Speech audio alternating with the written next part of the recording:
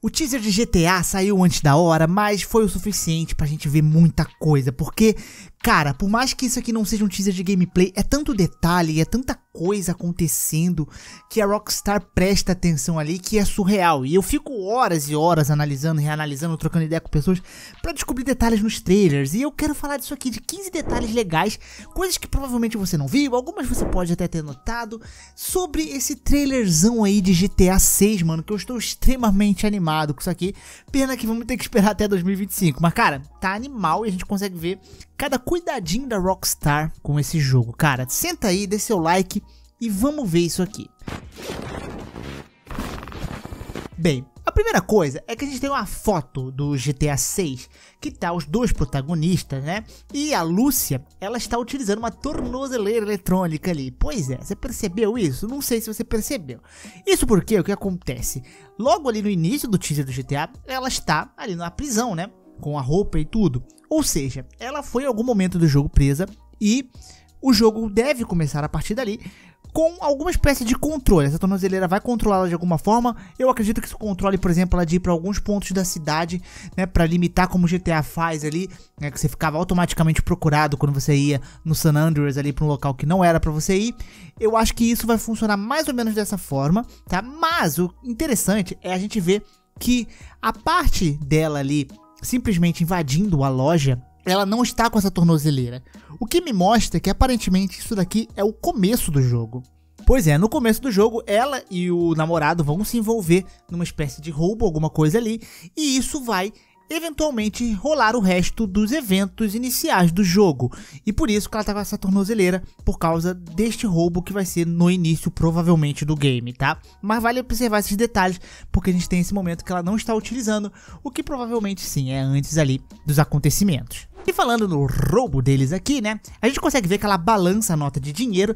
E se você observar com muito cuidado, é bem difícil de ver isso aqui, mas você vai notar ali a numeração 04 10 1998 que, né, 1998 é o ano que a Rockstar foi fundada. E esta numeração no dólar já está presente nos jogos da Rockstar. É uma numeração padrão ali no dólar, tá? 0410 1998. E ele está presente aqui na nota de dólar que a Lúcia está segurando também. Bem, logo no começo ali a gente consegue ver a praia densa, cheia de pessoas, e a gente consegue ver um cara filmando o popozão da mulher ali no cantinho. Pois é, excelente detalhe, Rockstar. Cara, uma coisa que eu quero falar para vocês é para vocês depois pegarem e reassistirem o trailer só olhando o cabelo de NPC. E mano, o cabelo nesse jogo tá um negócio fenomenal. Sim, olha pro cabelo, tá? Olha pra cá, preste atenção no cabelo, não é pra prestar atenção em outra coisa não, meu amigo. O que, que você tá olhando aí? Pois é, então, os cabelos em diversos takes e trechos, você vê que é um negócio que tá muito bem feito. No vento, na movimentação, no girar ali, cara, tá perfeito, tá lindo demais. Isso chama muita atenção, porque é um detalhe incrível. A gente vê o trabalho que tá tendo no cabelo desse negócio. Eu quero ver como vai rodar tudo isso, mano. Eu tô muito ansioso para ver. Porque esse detalhe nos cabelos é algo que tá simplesmente fenomenal. Depois assistam aí o trailer só nisso, tá? Outra coisa que a gente tem é marcas. E muita marca o tempo todo aqui no jogo, cara. Pra todo canto que tu olhar e observar, você vai ver um tipo de marca nova. Mas umas me chamam a atenção aqui, né? Que é na parte ali que eles entram na loja. Que você tem a Pisswasser, que é uma marca de cerveja que já tá presente no GTA ali. Né? Na tradução dela, dessa, desse pseudo alemão, significa água de pipi, pois é. A gente também tem uma outra marca que é a Logger Bee que também está presente no GTA. Mas se você olhar, são várias marcas ali que você vai identificar provavelmente, se você está familiarizado com elas. Outras são meio parodiadas e tal, mas são vários detalhezinhos de marca muito legal. Mas essas duas aí me chamaram mais atenção. Outra coisa é que na parte ali noturna do game, a gente tem ali no horizonte, a gente consegue ver a logo do Ocean View Hotel. Pois é, Ocean View Hotel é um hotel que já está presente no Vice City, GTA Vice City, né? Que é a mesma cidade que se passa esse game aqui, né? Então, a gente tem o Ocean View Hotel aí, né? Aparecendo bem ali de relance nos fundinhos mesmo. Cara, uma coisa legal é que a gente consegue identificar, né, onde se passa exatamente assim o jogo. Claro, a gente sabe quem vai Vice City, mas a gente tem ali, por exemplo, o condado, né, que é o conjunto ali, que é chamado de Vice-Dale Country, que é basicamente, né, a paródia ali de Miami-Dale Country, tá? Na vida real, Miami-Dale Country. E o estado, né, vendo a placa, depois foi revelado até em detalhes pela Rockstar, é no estado de Leônida, tá? Então, a gente tem o estado de Leônida e se passa ali no condado de Vice-Dale Country, que a gente consegue ver ali com aquele cara da tatuagem, que o pessoal fala que é o David Jones, né? Simplesmente a gente consegue ver ali o nomezinho. Então a gente sabe o condado que se passa ali, né? E também o estado que se passa o game agora. Quando a gente vai entrar na loja ali com a Lucy e com o Jason, a gente nota algumas coisinhas na porta. O primeiro, né, é a imagem ali do Tom Petty, que ele é um cantor que já faleceu lá dos Estados Unidos, tá? E nasceu no estado da Flórida, né? Que é onde é baseado o jogo. E a gente consegue ver ali Pete Forever, Pete para sempre. E tem uma curiosidade, a música do trailer é uma música do Tom Petty, pois é. E essa música, né, que se chama Love's a Long Road, que conta a história de um cara que é apaixonado, né, pela garota e que tentou fazer ela o mundo dele e eles tinham um ao outro, etc. Só que ele fala que o amor é uma estrada muito longa. Esta letra, basicamente, né, está referenciando um pouco do amor ali entre o protagonista, né, a Lúcia e o outro protagonista, o Jason, tá? E tem total sentido com o jogo ali. Então tem essa homenagem ao Pete, ele também tá na música do jogo, devem tá, ter outras músicas dele também dentro do próprio GTA. Outra coisa muito legal de se notar nesta porta também é que você encontra a mensagem falando que não vão aceitar mais dinheiro guardado dentro da cueca. Pois é, não pode guardar dinheiro na cueca, né, meu amigo? E as pessoas não vão aceitar mais esse tipo de dinheiro aí, né? Você não pode colocar dinheiro nas suas partes baixas, que eles não aceitam. Uma mensagem meio engraçada apenas aí. Na parte da vida noturna ali, a gente consegue ver que tem um personagem ali, um NPC que ele fica sentado. Ele talvez faça algum tipo de arte ou algo do tipo, porque você consegue anotar boné ali no chão, que é pra colocar aquele dinheirinho e tal, né? Ele deve ser um tipo de artista de rua, mas a gente consegue perceber também no ombro dele que tem uma espécie de camaleão. Então ele deve fazer algo aquele camaleão ali, a galera acha legal e tal, deve dar um dinheirinho pra ele. É um detalhe engraçado, né? Mas é um NPCzinho ali que me chamou um pouco a atenção. Coisa ali, logo no começo do jogo, a gente consegue perceber uma coisa que é muito comum lá fora. Aqui no Brasil, acho que eu nunca vi isso. Que são os fly IDs, né? Os, uh, os anúncios de coisas passando em avião, assim, por exemplo. E a gente tem um ali que ele fala de 919 escrito Vice City embaixo, né? E fala, pra que que você quer um 69 se você tem o 919? Tipo, uma mensagem meio esquisita, né?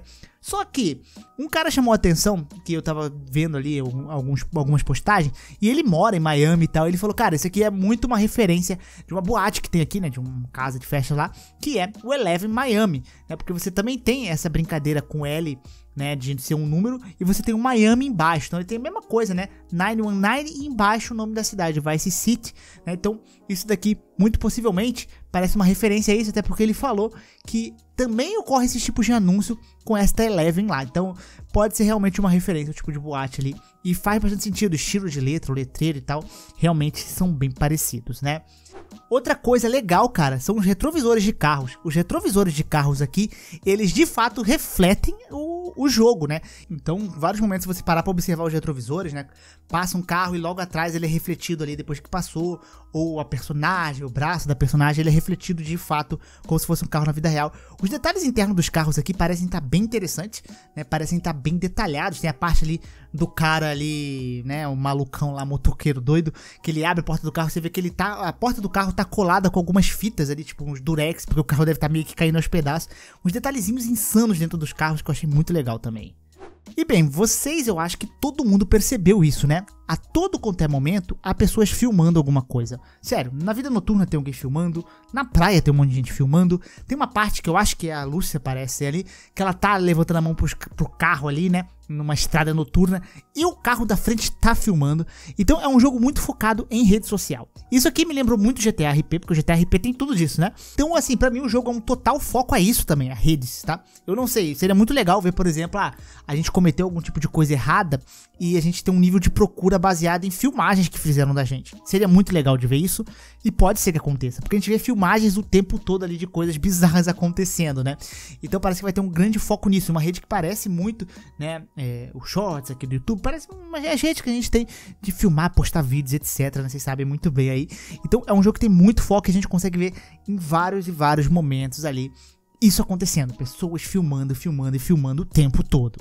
Cara, outra coisa, um detalhe que é meio bobo, assim, entre aspas, bobo, porque pode passar desapercebido, mas que dá um sentimento incrível pro jogo quando você percebe, são os NPCs. Cara, não tem NPC repetido, eu não encontrei ainda. Eu tô olhando para todos os NPCs, cada NPC tem a sua roupa. Cada um, mano, parece que não acontece nem o caso. Ah, o cara comprou na mesma loja que eu, que acontece na vida real. Aqui não parece que acontece isso. Na praia, cada um é de um estilo, mano. Na vida ali noturna, na parte ali da, da noite ali, mano, cada um com uma roupinha diferente, mano. Na cidade, todo mundo andando, etc. Cara, é tudo diferente. Todos os NPCs são muito únicos. Eu achei isso fenomenal. Isso me brilhou os olhinhos, né? Coisas que, óbvio, que a Rockstar tem capacidade de fazer e ela faz, né? E assim, muito legal os detalhes dos NPCs. Tenta observar. Dificilmente, eu, eu até agora não encontrei NPCs com você fala, ó, igual essa roupa aqui, tá idêntico, não. Todos ali tem uma singularidade, é um negócio fenomenal, né? Fenomenal. E por último, a gente tem ali uma torre, né? Uma broadcast tower, uma torre ali de transmissão, que ela é gigante. E esse aqui é possivelmente o ponto mais alto que talvez a gente possa chegar no GTA 6. Isso porque ela é baseada né, na Florida Broadcast Tower, que é do mesmo estado, né, falando que se passa esse jogo, né, só que no nome fictício, que Miami fica dentro da Flórida, etc. E o Florida Broadcast Tower é maior que vários prédios que a gente tem nos Estados Unidos inteiro, tá? Mas esse é o ponto mais alto da Flórida na vida real. Então, eu não duvido que esse aqui também seja o ponto mais alto daqui no jogo, tá? Então esse aqui pode ser, né, por ser uma inspiração na Broadcast Tower da Flórida, pode ser que esse aqui seja o ponto mais alto. Será que dá pra gente subir lá? Acho que deve dar, né? Mas deve ser complicado. Mas muito interessante, eu vou visitar esse ponto aí. E meus queridos, esses aqui são os 15 detalhes aí de GTA 6 Pode deixar mais aqui nos comentários se vocês acharem coisas interessantes que a gente manda mais. Eu não sei se vai ter mais ali pertinentes o suficiente, mas se tiver, nós faz. É isso. Espero que vocês tenham gostado desse vídeo. Grande beijo, grande abraço, beijo, popo, até a próxima e tchau, tchau.